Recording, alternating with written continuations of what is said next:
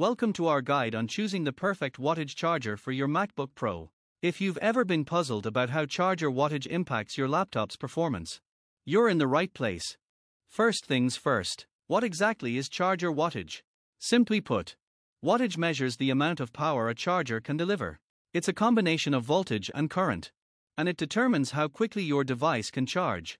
Knowing the charging wattage for your MacBook Pro is super important because it can vary depending on the model and its features. Here's a quick guide to help you out. Before you buy a charger, consider these factors. First things first.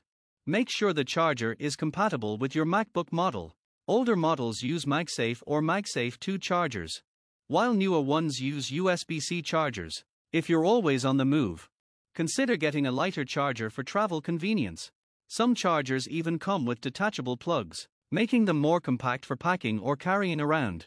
If you have multiple Apple devices, a universal charger could be handy. Some chargers GaN power your MacBook and another device like an iPhone or iPad at the same time. Here are some top charger picks for your MacBook Pro.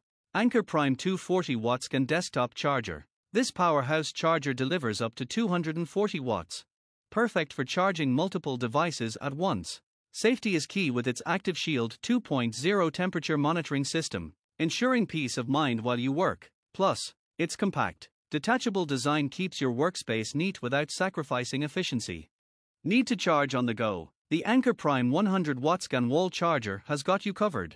With two USB C and one USB A ports, you can power up to three devices at once. Despite its power, it's 43% smaller than the original 96 watts MacBook charger making it ultra portable.